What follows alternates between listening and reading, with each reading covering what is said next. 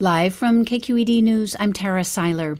Windsor Mayor Dominic Foppoli is resigning following a San Francisco Chronicle investigation uncovering several women's allegations of sexual assault against him. In a statement, Foppoli said it was with a heavy heart that he leaves office and that he maintains that he did not engage in non consensual sexual acts with any women.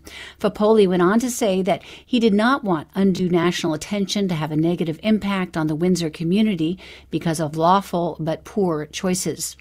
The Chronicle is reporting that the resignation comes three hours after their reporters sought comment about a police report a woman has filed in Florida alleging that he sexually assaulted her in Palm Beach in March 2021. The median price of a home in California has topped $800,000 for the first time ever. KQED's Brian Watt reports. The California Association of Realtors says lots of people want to buy homes, but there's a shortage of homes for sale. So in April, the statewide median home price was $813,980.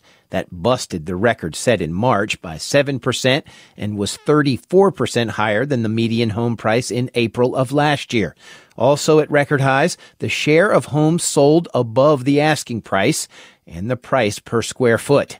The association's chief economist said he hopes as the state reopens fully, more people who've been reluctant to sell homes during the pandemic will be enticed by the rising prices to do so, and there'll be more supply to meet the demand.